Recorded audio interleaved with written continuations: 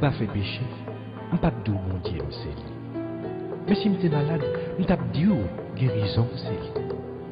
Kom m pa an droge, m pa ka di droge m se li. Men an tanke gason, m ka di ou fam sa se li. Li, se la dan mwen jwen oasis mwen. E oasis mwen, se ou, se ou ke mwen reme. La vi m pleke yon lot sens chodi ya. men li patan yon san ou. M vle ba kom ak nan mwen pou toujou. M pa pral di ou ki se premye fom ki mwen eme. Men m ka afime ou ki se premye ki fem konen. Konen ko kareme e ve ou la mousa a karetounen.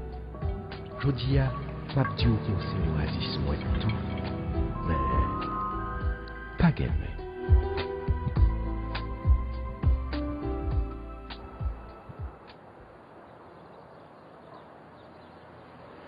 Can you please state your name for the record? Noelia Natasha Seraphin, Now, Norelia, I'm going to ask you a few questions, okay? Um, how old are you? 15. 15. And how do you feel about your father? I love my daddy. Okay, okay. And do you feel as if your father loves you?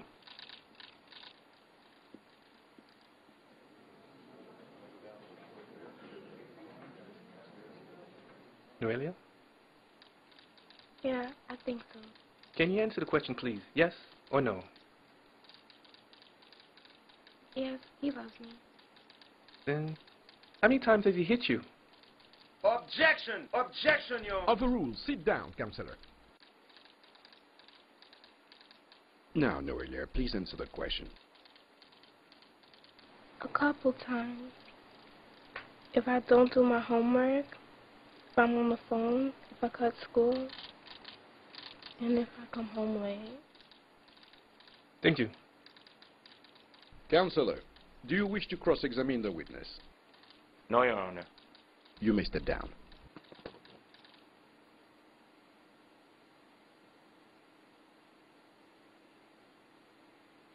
Please state and spell your name for the court. Tonton Nor, wè di nan e pli nan pou tribunal la. Oh oh. Bon. Ou fek fin repete nom, epi wamande nom toujou. Se dezan nem gen depi ma mouti desen bo isye. Yo tout konen nom deja, oui. Totono, se kon sa baga la, chak fwa vini set la fwa dine before April. Oh, yo fek manje manje bliye. What is the problem? You forgot his name? No, sir. Totono, di baga la pou kwa la ka kontinye. Bon, ok. Mwen mwele tonton nan vou pou. Je vou. Order! Order in the court! Yeah, tout vivant, Séraphin. That's my name. Bon, madame chef section encore point. Si non il y a pour une crosse, pour qu'il monde donc assez à pied. Mais, plus encore. Sinon il y a ta contestation. The court will take a five-minute recess. Counselors, in my chamber now. Ça dit là.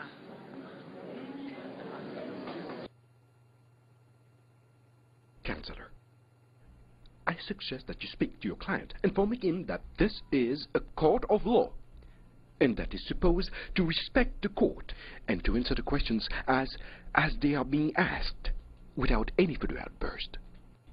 I will not have my court made into a mockery. It would behove him to respect the court and lower his voice. Any more behavior of that sort, he will be found in contempt of the court, and a fine will be levied upon him. Is that clear? Yes, Your Honor. Let's go.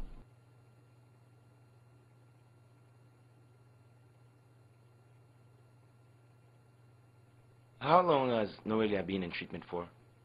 Four years. Four years. Good. And what's her most recent diagnosis? Noelia suffers from an illness called oppositional defiant disorder, mostly referred to as ODD. C'est pour parler bien, c'est pour parler bien. Mr. North! Mr. North! You are in contempt of the court, and I fine you $700. Ou fe trop bli la. Oh, qui ça juste là? Parlez qui trop là? fort, tonton Est-ce Nord. qu'elle a tout fait même jeudi? Parlez. Non, pali trop, se pa sa l di. Li di la fwa pe a mwen de 700 dolar. Debi sa la map do pozo a pe de fe bli la. 700 dollars. Counselor, you may proceed. Can you please elaborate for us? A little bit. Well, ODD is a disorder in which children ignore or defy adults' requests and rules. They often lose their temper. They tend to argue a lot with adults. They tend to blame others for their mistakes or misbehaviors. Okay. Now, if you had to describe Norelia, how would you do it?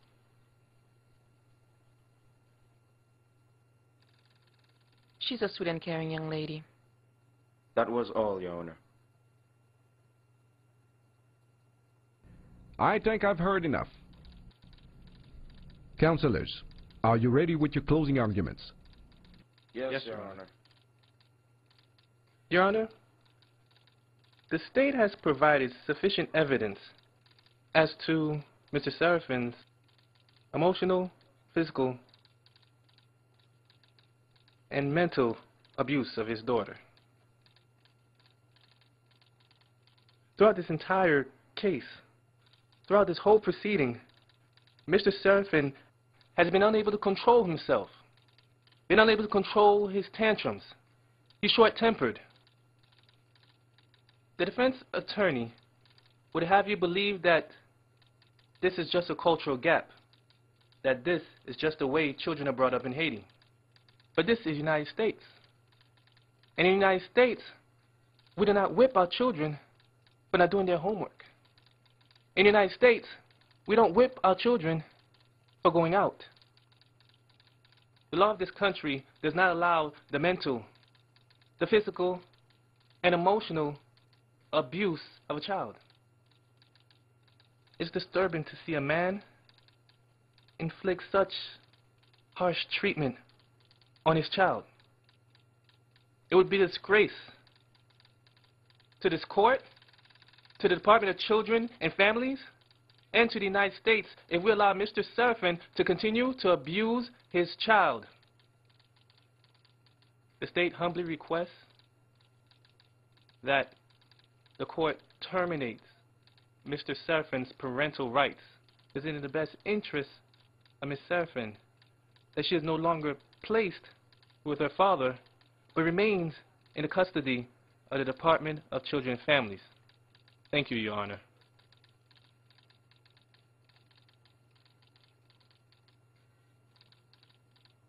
Your Honor,